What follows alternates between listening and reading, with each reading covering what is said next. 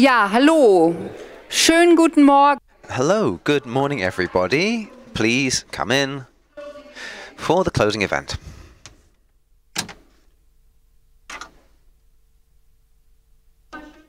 So, good morning. After a busy night of dancing, welcome everyone to this closing event.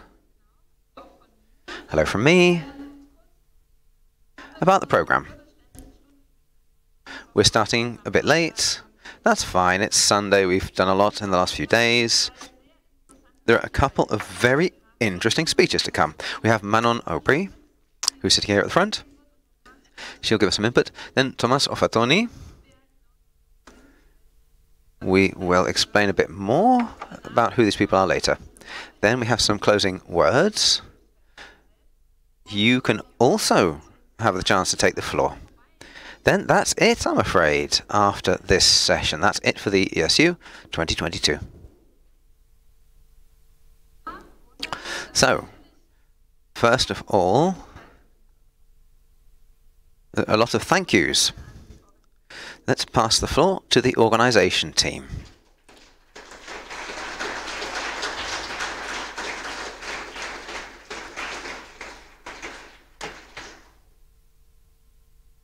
Good morning. Here we are again. I hope you're in better shape than me right now. I don't know. So just sit back and uh, have a listen.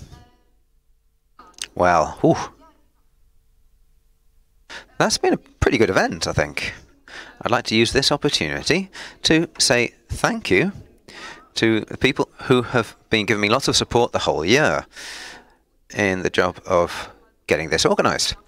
So, could you come forward, please? All of the volunteers who've been working on this for a year. So, culture, Harold and Thomas.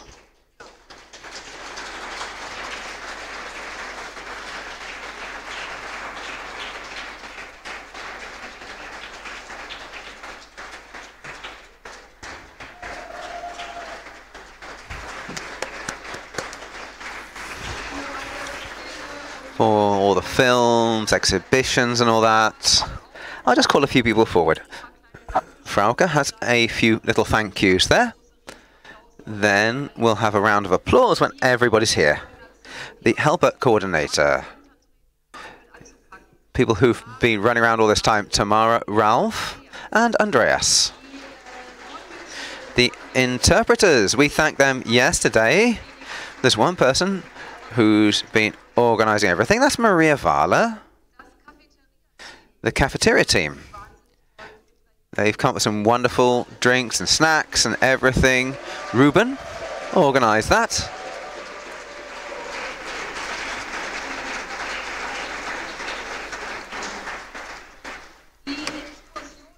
The excursions for everyone who uh, wants to get out from here. Eva and Zondos. The technology, the equipment.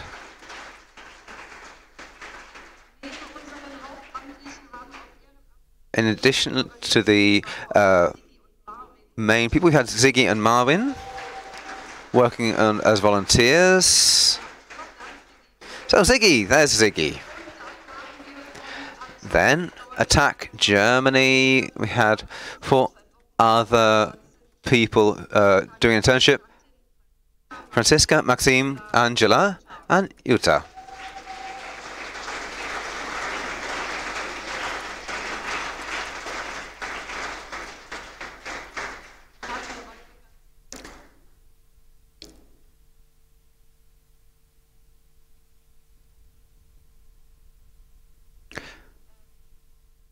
Right. Finally, it's been international. The International Preparation Group. I don't know who's still here. I'll just read out a few names. If you hear your name, please come forward. James, Christoph, Abidjan, Alice Picard, Friedrich, Dirk Friedrichs, Hugo Braun, Dolphy Gerod, Dominique Plihon, Marika, Hélène, Isabeau, Andreas Fizan, Jana, Jean Robert, Vivane Tomasoplovsky.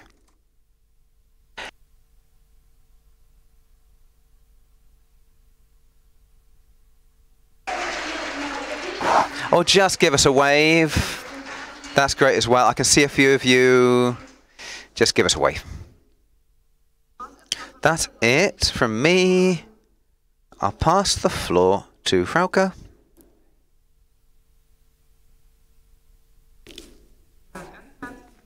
Thank you very much. Christiana, please stay. Hugo, please. Two of you.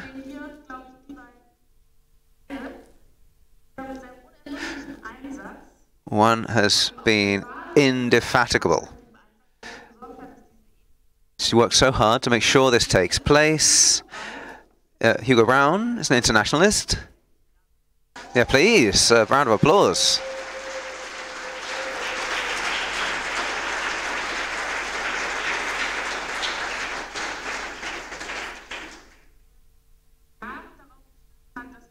He's put in years pushing for another European Summer University. Then we had the, the COVID pandemic. Then we saw we could do it. We've done it. So thank you so much, Hugo, for giving us that push. It's been a huge success. Thank you very much.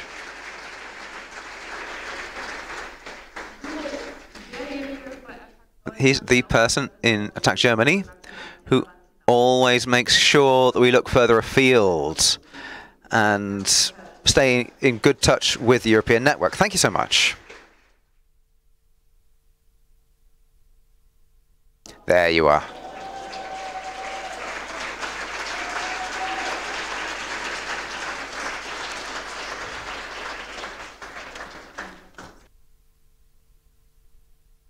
And you all know Christiana. No one here, I think, has managed not to come in contact with her. We're sitting opposite, and people always would put their head around the door and say, I'm looking for Christiana. Then it was things uh, like we have to lock a door, or something big like they've just towed my car. I don't know where it is, that kind of thing. Then she spent two hours on the phone and she was speaking to like different offices to actually get hold of a car that's been towed.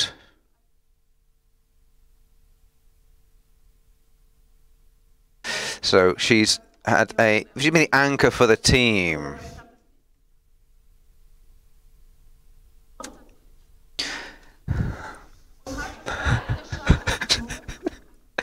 then every morning you know bright as a uh, daisy, looking for the next problem to solve. So thanks so much, Christiana.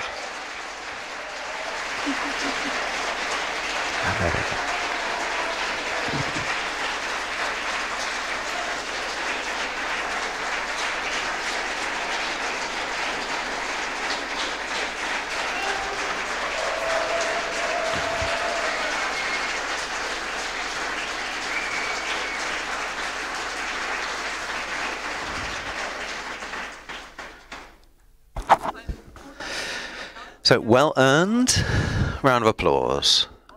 So really she is here representing all the people in the office who've been working so much, people from head office as well. People have been working beyond their job descriptions really. They've been going the extra mile. So one moment, Christiana. So, this is a special thank you for her, if she could choose. Thank you very much, both of you.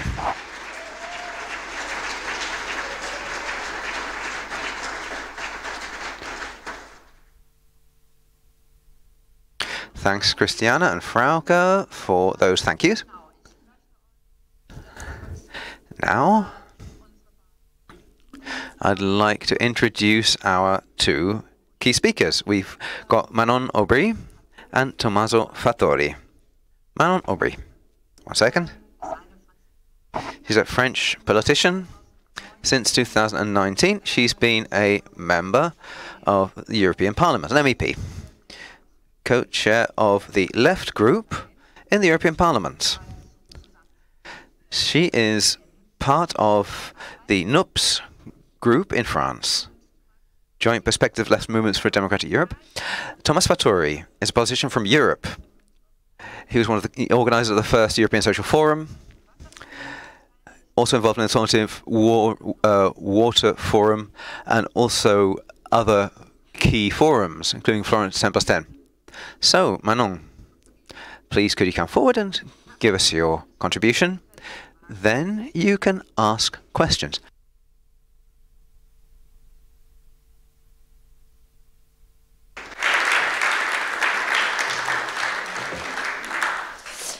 Thanks, everyone. Hi, hi to everybody. Um, first of all, thanks very much for the invitation. I'm going to speak half in English, half in French. Unfortunately, my German is not advanced enough. Uh, but yeah, thanks to the interpreters uh, to, to do the job, I will start in English and, and speak there uh, then in, in, in French. Um, I've, been, I've been asked to talk about the connection between politics and social movements. And I should start from where actually I started. I've been, and I consider myself still as an activist nowadays. I've been working for years for NGOs. I've been working mostly in Africa on the human rights impact of uh, extractive industries. So I've seen a little bit of uh, extractive industries um, um, images there. And then I've been working uh, for Oxfam on tax justice and inequalities. At that time, I hated politics. And I still hate it. Yeah, so you would ask myself, well, then you're hating yourself. Well, sometimes I'm hating yourself. But the reason why I'm telling you, it's because back in 2019, when La France Insoumise came to me and said, well, do you want to lead the list for the European election, I was like, no way. No fucking way. And there I am, three years later, talking from the political side. The reason I'm telling you my story, it's because it raises a lot of questions on how do we change that fucking world. And how do we do it? Well, when they came to me, yes, I said myself, no way. No way because I hate politics, it's violent, it's sexist. There's no young woman, there's no one that I can identify myself. And then I ask myself, well, actually, that's the problem, that there's no one I can identify to in politics. And the second question I had to myself was like, okay, I'm working for Oxfam, I'm tracking tax dodgers, I'm campaigning. Am I not having more impact there than in politics? Well, it's true. But then I thought again, and I was thinking, well, actually, to change the life of people, we haven't found any other way than just one thing changing policies. And to change policies, we need for sure strong social movements kicking the ass of politicians. But at some point, we need the right people pushing for the right button into the parliament. That's how, from the small door, I entered, I entered that, that world that is still not mine, that I still hate, but that I still believe that we need that world to actually change things and change politics. And this is the reason why I'm here today, because I do think we need coordination, we need common push from social movements and from the political world. Of course, there's still two different words. And I'm not saying anyone here in the room, you should enter into politics. No, please, stay, stay as, a, as activists. We need you from the parliament when we are on our own, you know, denouncing some of the um, worst free trade agreements, like the last one that they've just signed with New Zealand. I've seen CETA here, but like they've, they have at least 10 others um, in, in preparation at the European level. So sometimes we feel on our own, but we know that we're stronger when we have strong social movements outside of the parliament. And that's also a little bit of the story of um, the, the, the NUPES, I don't know how you pronounce it, a new coalition um, in, in France that have been built basically on how do we connect some of the left movement and some of the social movement. In France, as you may know, there have been quite a few social movements over the last few years. There have been the Yellow Vest, the climate movement is quite active. There's been a movement against the reform on pensions. There's been a strong feminist movement. There's been a strong movement also against police violence. What we've done is just like stay where we are. When you're a political movement, of course, you should not take the leadership of those movements, but you should push it, you should protect it. And at the time of the yellow, yellow vest movement, no one within the uh, political spectrum, including in the left, but the France Insoumise were like, okay, we need to hear what they have to say. This movement is actually a movement for tax justice. What they're saying is actually the richest should pay more and the poor should pay less. This is nothing else but a social movement that we should actually support. And that's how we built our campaign for the presidential election. You know, the presidential election, the campaign in France is very long. It lasted for a year and a half. We started, we were about 8% in the polls. As you may know, we ended 19% in, in uh, uh, total result. We did it without at any moment any sort of, you know, compromission.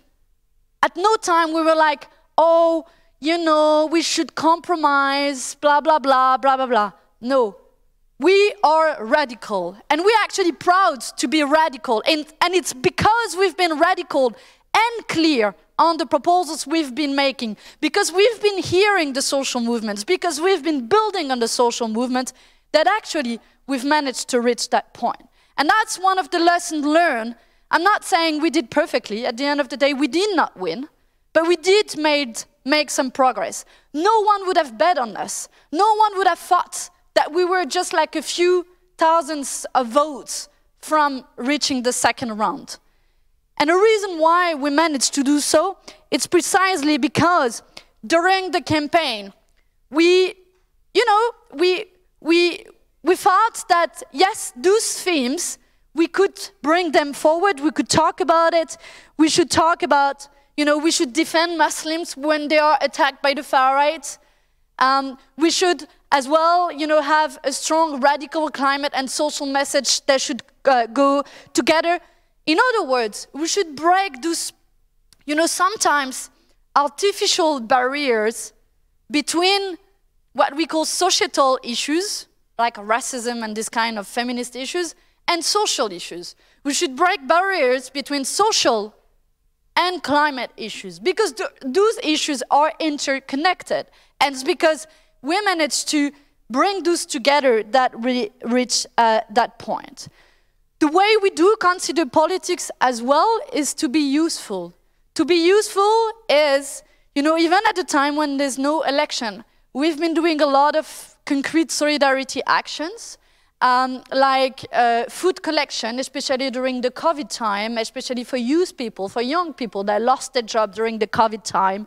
We've been organizing as well concrete campaigns for people to learn about their rights. What we're doing, including that summer, we do that every summer, we have a sort of caravan that is going all across France, only in poor suburbs, you know, this banlieue that we have in France. I'm sure you have similar in Germany with these very high towers where they park uh, poor people in very bad housing conditions.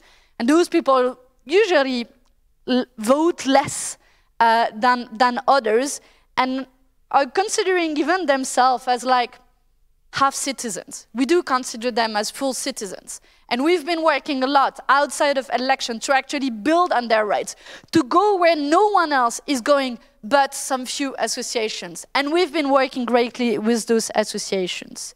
So that's how we reached that point uh, with uh, the results in, in France. It's interesting to see where we do our best results. It's basically among you, young people, the youth, where we do almost 50%. Uh, um, in poor suburbs, um, we usually do more than 50, but there are some areas where we do 70, 80%. It's also interesting to see that actually we can compete the far right. There's no like fatality of having the far right very strong among poor people. It's true to some extent in France, but Marine Le Pen and the far right should not be as high over the next couple of years. And the, the way we can, we can fight about it is actually to go there and say how you know, the far right is not doing anything for the poor people, is not doing anything for at, at social level, for example, they are against the increase of the minimum wage, which is the most basic social demand that you can make. But we have to make that fight. And there was some times ago, you know, in France, the Socialist Party, they had this theory from the Fondation Jean Jaurès. Um, it's a foundation that's close to the Socialist Party in France that I said, well, actually, the poor people, they don't vote. So why bothering talking about their issues? we're going to try to convince people in cities. You know, middle class people, they are the ones to vote. It's true, they vote more. But again, poor people are not half citizen. And I think that's one of the key issues as well for us, and one of the lessons learned for the left in France is if those category of people are voting, then we can make a difference. And if we make the participation progress in the election, then we can make a difference. And that's how we managed to have that result in the presidential election, the 19%, and only then we could create the NUPES, Nouvelle Union Populaire Écologique et Sociale.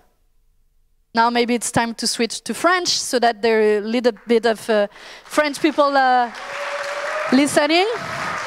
So for a German and English speaker, you can wear your headsets. I'll practice, practice your French and thanks again for the interpreters. Et donc, c'est comme ça qu'on a... So that's the way that we set up the uh, NUPES, this new union for ecological and social socialist issues. So we didn't just create it to win. We wanted to have a radical program. And this was important in the context of the presidential election. So you had the Greens and the Socialists and others.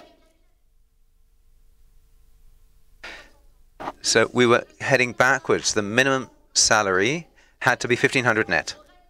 We wanted to disobey certain European rules, such as austerity. These were the key ideas, and that's the manifesto we put forward for our new popular organization, People's Organization we had a radical ambition. We had radical proposals to make. So that's um, we set up this the NUPES. It's a radical French alternative, and we participated in the elections uh, in June. So, so you had the France Insoumise, a relatively small group. I wasn't, but I started politics in 2019. I had never been a politician before then. The left wing party. So then we had, so we increased our number of uh, MPs in France in June last year. So we want to continue working together collectively supporting social movements. So we set this up, this started this change. There's a well-known phrase by Schopenhauer. In the, initially, people think an idea is crazy. Attac knows this well, like attacks on transactions and so on. Then over 20, 30 years, it gets on the table. Initially, people thought it was crazy. Then they fight it. Then they fight the idea. And you know how hard people can fight ideas. Now it seems like a normal idea. Taxing people who've profited from the crisis. Even the UK, even the Liberals over in Britain have then looked to impose a windfall tax on certain companies. People thought we were crazy radicals. Then little by little, it becomes normalized. The aim is to take power but having strong social movements, independent social movements. But we've learned, it's like uh, the uh, Popular Front in, in 1936, we got um, paid holidays. It's a bit like the situation with the NUPES now. When we get wins in France, it's because social movements were active. They were mobilized, they were out on the streets, they were pushing forward, they were securing progress that was made politically. So when uh, groundbreaking French uh, so, uh, socialist groups come to power, there will be changes. They will need to see uh, mobilization to be able to hold people's feet to the fire. Don't betray us. We're going to stay on the streets. We're going to mobilize and keep mobilizing. And that's how we secure advances. So once we get into power, I think the political agenda in Europe gives us some opportunities for collaboration. For example, free trade agreements. They are set to increase in number over coming years. We could Im should impose windfall taxes. I put forward my first amendment in the European Parliament at the start of the COVID crisis.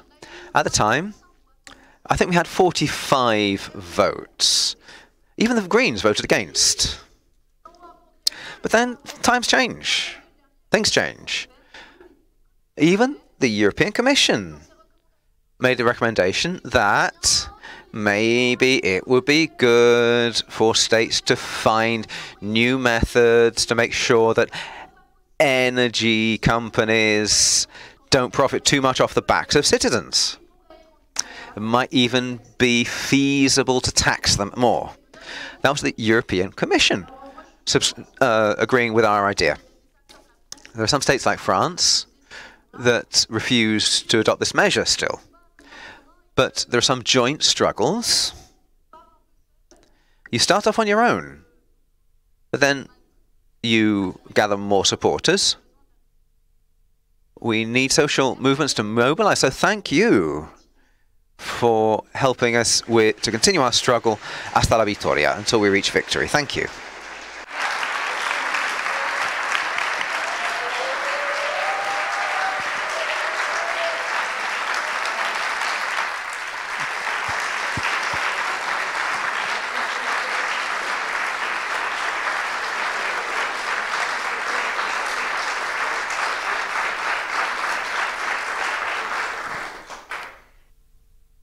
Thank you so much, Manon Aubry.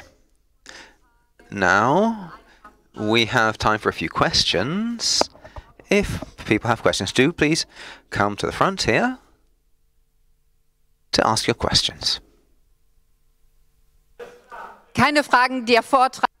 No questions. That was such a great speech. Thank you very much. Und dann geben wir. So let's pass the floor. Genau, überraschend jetzt schon. Yes, so it's now. Over to you. Thank you. Uh, good morning, everyone. Uh, allow me uh, to an off-topic digression, which is not actually an off-topic, but would like to thank you for these days we spent together. Um, after three years of pandemics and social distancing, um, it was necessary some social closeness and some physical closeness. And uh, uh, it is also spaces like these that allow us to nurture and to reconstruct social bonds in an era of uh, social atomization.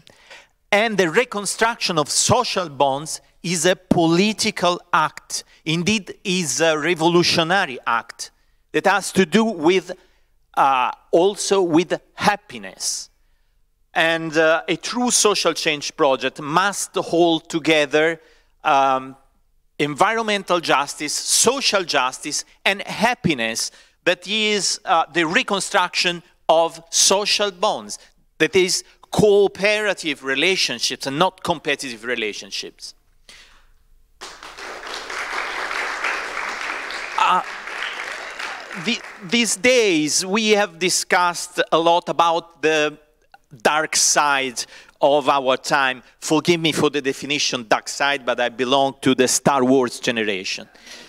Uh, dark side that is the destruction of nature by financial and extractivist capitalism and the dark side is also the exploitation is the job insecurity is the denial of fundamental human rights all over the world um, and it in, in a word is the destruction of our own uh, lives and we could call it in a in a synthetic way, the multi-level war uh, unleashed by financial and extractivist capitalism.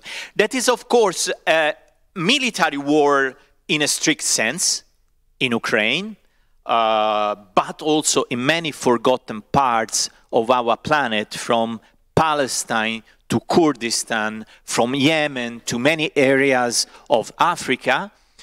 Uh, but it is also the war against the climate and against the environment. Uh, it is the, let's say, the, um, uh, the social war, the war of the rich against the poor, or, class struggle. Uh, it is the patriarchal war against the women. And 20 years ago, uh, in, uh, in Porto Alegre, then in Genoa, then in the first European Social Forum in Florence, we were saying another world is possible. And of course, we are still saying another world is possible, another was necessary.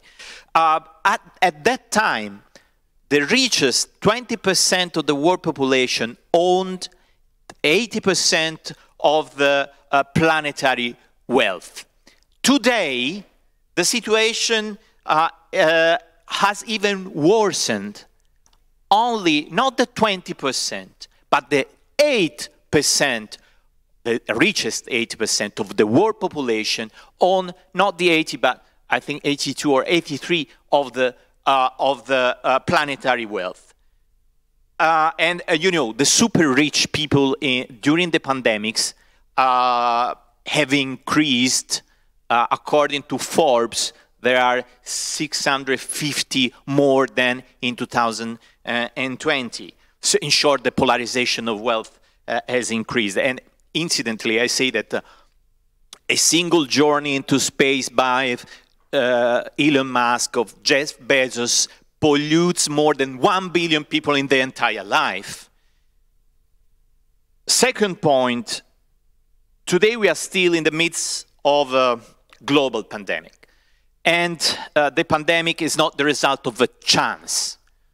Uh, the spillover is a consequence of the destructions of, of ecosystems.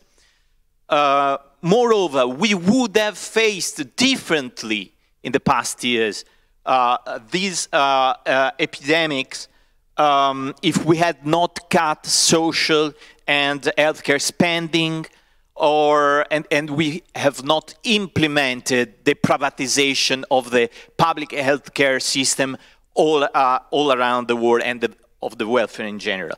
And we have fought uh, against uh, intellectual property and against the patenting of vaccines uh, and more generally against the patenting of um, life-saving medicines. Um, you remember maybe already 20 years ago, uh, we were alongside Nelson Mandela um, fighting for free access to medicines for the treatment of AIDS. And this is uh, exactly what we are doing now for, uh, I mean, for vaccines. Uh, third point of context. The war in Ukraine, in addition to causing deaths on the field, um, is plunging us into an economic and social crisis that is already having disastrous effect. It is the uh, war economy, um, the food crisis in Africa, uh, the high cost of living in our countries, which is, uh, uh of course, uh, affecting in particular uh, the, the popular classes. We will see in the, in the next autumn. And last but not least, this war is taking us back 20 years, uh, even with respect to the now mythical ecological transition, which is another victim, um, war victims, uh, so to speak. So, but if it's true that the war is changing, it is also true that um, there are underlying elements that do not change. Um, an important Italian sociologist, uh, Luciano Gallino, um, has invented a brilliant definition uh, to describe our time. We live in the time, I quote, uh, of the um, class struggle after the class struggle. Uh, Gallino, I mean, ironically meant uh, that in our post-ideological time, where the media, the mainstream media or the establishment tell the tale that we are all on the same boat, uh, at the same time, in the meantime, the, the class of the so-called winners uh, continues the class struggles against uh, the class of the so-called losers. Of course, winners is a, a, is a term much appreciated by those who think that humanity uh, must inevitably divide itself into winners and losers, and we are not among them. Uh, but, but likely, uh, there is not only the dark side of the present time. Uh, there is also the bright side. Always look at the bright side of life. so you know, I mean, as the Monty Python says at the end of the life of Brian. And the bright sides are the social movements. The bright sides uh, are the Fridays for Future, Extinction Rebellion, and in general the climate and uh, environmental justice movement, the peace movement, the women's movement, the commons movement, the indigenous movement, the labor movement. So the, list is long, likely, is long. And on the bright side, there are also the many alternative practices. Manon was um, uh, mentioning the, the, the, food collecting during the pandemics. I, I mean, the small-scale peasant agriculture, the uh, renewable energy communities, um, the social and solidarity economy in Latin America and Africa in particular, uh, the commoning, and, and the many practice of mutualism. So all these bright practices, uh, social movements, initiatives, in their diversity have a common ground and, and have a common purpose. So to overcome the destructive uh, um, exploitation of human beings on nature, and this is the, of course, the environmental justice, and to overcome the exploitation of human beings on human beings, and it is the social justice, to be very short. So, uh, and since uh, in this closing event, we are also called to discuss the, the future and the strategies. I think that in order to have an effective strategy, that is a strategy that allow us to win because we have to win because we can't uh, uh, uh, afford to lose uh, and we are running out of time as the uh, also the, the climate justice movement is uh, uh, reminding us every day. So in order to have an effective strategy, we have to understand and to investigate what our weaknesses are. I mean, our weaknesses as movements. It's not an easy task, but we have to do it. And um, to be very short, I, I think our weakness does not lie in the analysis. Um, as we have seen well in these days, in the seminars, in the plenaries, uh, we have a correct analysis of the, of the economic model, of the uh, structural interweaving of the different dimensions of the crisis, environmental, health, social. And I don't think that our weakness is, um, is even uh, in the proposals on solutions. We have proposals and solutions. Uh, but, let's say so, unfortunately, being right both in the analysis and in the alternative proposal is not enough. uh, having even the perfect solution to the climate crisis, to the social crisis, is not enough. Of course, we don't have the perfect solution, but we have a set of solutions that describe a paradigm, uh, a coherent paradigm. So being right is not enough to affect and to influence the course of the world. Being right is not enough to be effective. It's not enough to change things. It's not enough to change the power relations. And so, uh, what is our weakness? Uh, in short, is fragmentation. Uh, a geographical fragmentation. Here we are in, a, in an international meeting, and it is very wise. Uh, but unfortunately, as movements, of course, there are exceptions, uh, but in recent years, we have mostly closed ourselves within national borders. And the second is a thematic fragmentation. Let me explain. Uh, the water movement, the water commons movement fight against the privatization of water and public services. And the, um, I don't know, Black Lives Matter uh, uh, fight against the racist discrimination. But there is no space now for stable relationships. Uh, for, there is, uh, I mean, uh, no common agenda. Uh, nevertheless, if today we want to face the enemy, if we want to stand up uh, to the enemy in a world the global capital, and if we want to change power relations, then we must build stable alliances. Uh, at least on a European scale. I know it's not enough, it's better at uh, the worldwide scale, but at least in European scale, in order to have a common agenda. And uh, in recent years, too often we run after an agenda imposed by others, imposed by media, imposed by the worst politicians, uh, and so on. But together we can stop, uh, we can stop following uh, the agenda imposed by others and try to impose our themes.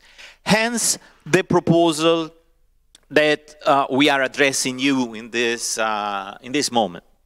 I mean, after this university, wonderful university, uh, after the September climate strike called by Fridays for Future, Extinction Rebellion, after other important events of, of the movement, let's meet in Florence from the 10th to the 13th of November, where together with the uh, the European Networks and Movements, we are organizing a four uh, day meeting on the 20th anniversary of the first European Social Forum, but of course looking towards the future uh, and not celebrating, let's say, the past.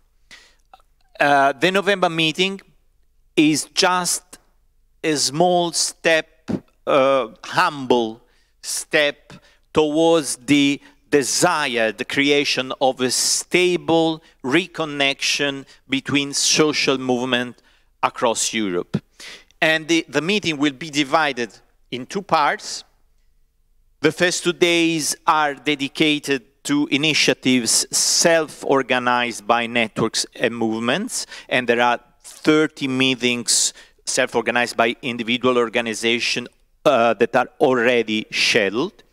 And the last two days, that is the 12th and the 13th of November, are instead dedicated to a general assembly, a convergence assembly. And we would like to have a real discussion meeting that is not an assembly where activists talks about their uh, theme. I mean, where environmentalists talk about environment, pacifists talk about peace and so on, nor an assembly where each organization presents uh, uh, its campaign. The idea we would like to, uh, to ask uh, transversal questions, or if you prefer, intersectional questions, so questions on issues that concern everyone, with the aim of getting a real discussion, uh, which brings out the problematic notes that allow us to make a step forward together and to understand why we are not able, for example, to have a stable connection between us. Um, the, the first question, of course, we are still discussing in the preparatory meeting, but more or less the first uh, question is where is Europe going? I mean, what is the role of Europe in a changing world? To be, to be very short, I take the, the uh, geopolitical frame no? Uh, uh, and the war in Ukraine. The, the war, this war is only a piece of a more general uh, geopolitical confrontation. You know that a few weeks ago, the Chinese President Xi Jinping hosted a virtual summit of the BRICS countries, I mean Brazil, India, Russia, China, South Africa. Um, for what purpose? Uh, they said to plan a new global development uh, partnership. So a worldwide uh, hegemonic transition uh, from west to east is probably underway. You know that China and Russia are both creditor countries, uh, and the Chinese project is now to create a new international monetary order, diminishing or resizing the role of the dollar and of the euro. So, you know, this is an epochal game. Everything is changing. Globalization, as we have known it and as we have fought it, uh, has been hit by many crises, economic, health, uh, environmental, now the war. And, and it is clear that now we are facing a process of, I don't know, deglobalization or maybe perhaps of selective re-globalization with a macro-regional uh, configuration. So, and again, what is the role of Europe uh, uh, in a changing world? What is our role? of Europeans, of activists. The second question we would like to ask is how can we eliminate the breeding grounds uh, of advancing right? So how can we go from rancor and fear uh, to hope? And rancor and fear are breeding grounds for, for, for the right. So forgive me the, this um, word play, uh, with, the, the, with the word right, but the political right often advances uh, because it gives the wrong answers to right needs or to needs that are uh, right. First of all, the need of protection, of social protection. While the policies of a large part of the so-called center-left are perceived as policies that have left people exposed uh, to the storms of the neoliberal globalization, policies that, that have impoverished, that have uh, worsened people's lives. And, and for example, in Italy, that's very clear. The, the fact that xeno, xenophobia is often stronger where there are no immigrants or where there are a few immigrants uh, uh may seem paradoxical, uh, but just indicates one thing, that xenophobia is not the poisoned fruit of immigration, but is the, the fruit of the loneliness uh, in which million people have been left in the face of the storm of the globalization of capital, finance, and markets. Third and final question, I've already said about this, so very short, being right is not enough. So why are not we able to make an impact? How can we give strength to our ideas um, in this context of empty democracy, of, I don't know, post-democracy, if you prefer to, to quote uh, Colin Crouch. Um, how to affect the national and European political agenda. So our humble proposal start with the, the connection. So to conclude, my time is, uh, is running out. I hope I've been able to explain the substance and the heart of uh, our proposal. We are trying to build, let's say, the preconditions for a future convergence that brings together all the bright sides uh, uh of the present time. Of course, as a priority, we are trying to involve in the November meeting uh, the new generations, um, the movements of the East Europe, the movements of the southern shore of Mediterranean uh, area, and of course to give maximum prominence to, uh, to the actually existing uh, movements like the peace movement, the, uh, the, the, environmental and climate justice movement, the women's movement, uh, the labor movement, and so on. Uh, the hope, the hope, our hope, is to leave Florence uh, perhaps with a permanent table and a constant relationship between the movements, also uh, uh, uh, in view of a possible common agenda, uh, in order to uh, be able to win together, to go beyond fragmentation, which is weakening us, keeping together social justice, environmental justice, and of course, happiness. See you in Florence, and thank you for your attention.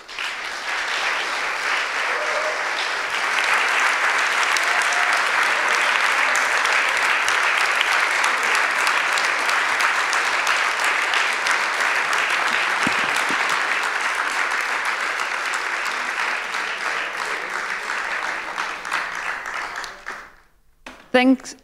Vielen Dank. Thank you, a lot. Are there any questions to Tommaso? Additions? Anyway, we can also continue. So I would hand over the stage, uh, the mic to Sonja. Thank you.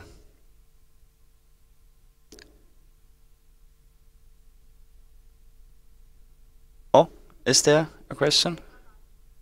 And we wait.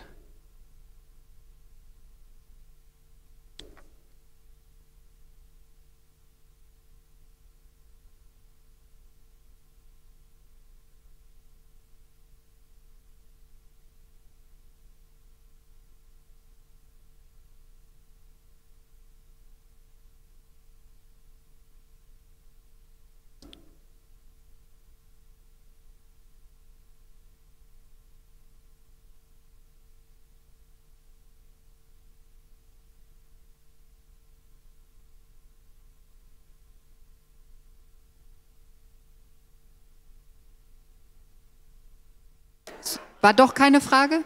Okay, das war einfach. Aber danke, dass ihr alle gewartet.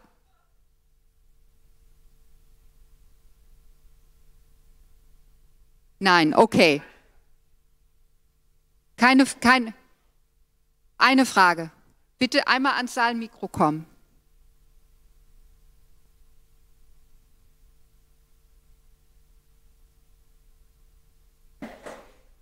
I speak in English because in Spanish or in Spanish, I don't know.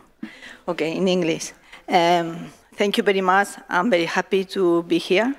I have learned a lot about uh, social movement and the relationship with the politic. Um, social movement, I mean movement for social justice, for environmental justice, for climate justice, and feminist movement. But I would like to say you something that I think we forgot ecological justice. Ecological justice, from the ecological justice coming the right of nature. And in Spain, we have uh, had a very important social movement, also in COVID, um, we had a big ecological disaster in Mar Menor, and then people come in and began a new social movement. We get more than 700,000 signatures. The law uh, asks for 500,000.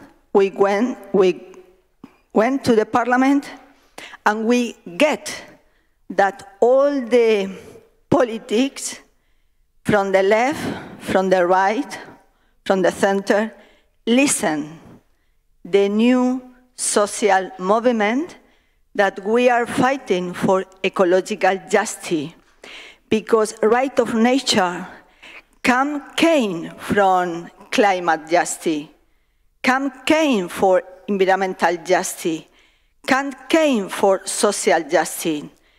These are paradigm very important from the last of um, uh, 20 millennium and the beginning of this millennium. But we must think that we must um, fight not only because the people, because um, right for the people, because uh, ecological climate ecology climate justice is very important, but we are thinking that we need to protect the nature because it's good for human right. But I think that we must open our mind and think that we are living in this planet with another um, reality that they are no human, but they have right to, uh, to live. And then is the new thing that I didn't like go without tell you, thanks a lot, but we must think that is good social justice, climate justice, environmental justice, but ecological justice, but can be a new paradigm to fight for nature. Thank you very much.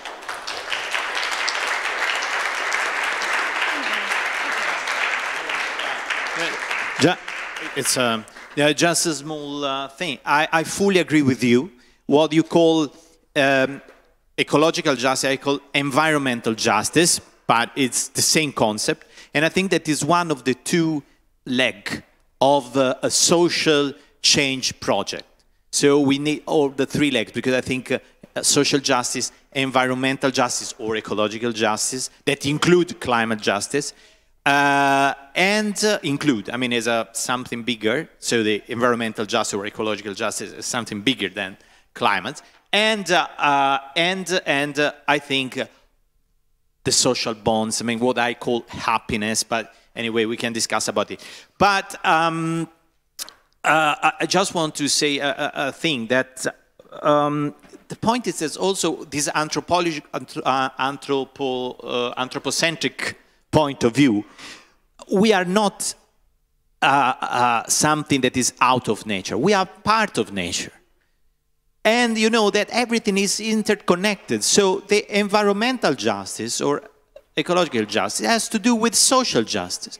Because, for example, if you have to, to build something, you know, to, for the waste, uh, an incinerator or how you call it, you are going to build it in a poor neighbor not in the rich neighbor. So everything is connected. And I think that this is our aim, but I fully agree with you. This is one of the important things, one of the important elements that we should uh, take in account for a social change project. Dankeschön. Thank you. Is that indeed a question?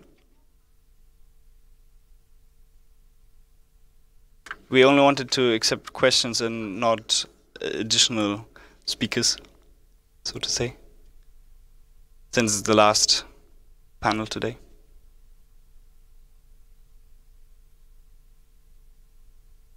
Okay, then then not. Thanks for your understanding that we will continue now. So it's now up to us, Maria and me, to have a look back at this whole event.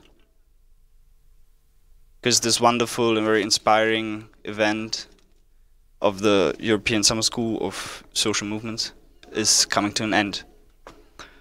So, you've been in total 650 people at times. And especially, and we are especially happy about the guests who came from outside Europe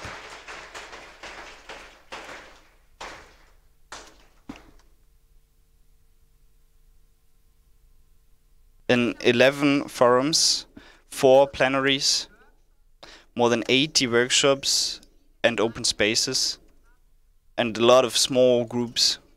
We got to know to each other, we discussed, and we had a lot and a wonderful time together.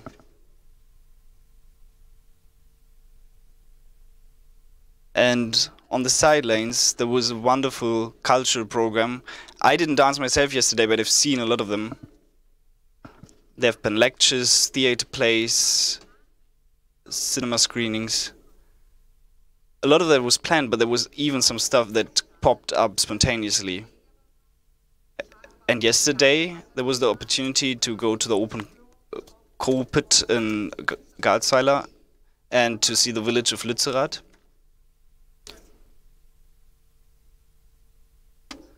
And to support the people who are living in that village with a political action.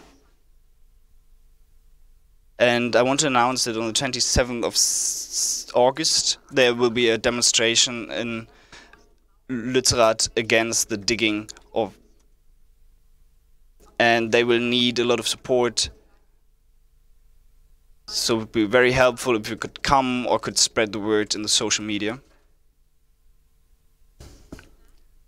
So now we really get to the concluding remarks, and then afterwards you can speak amongst yourself or start your journey back home.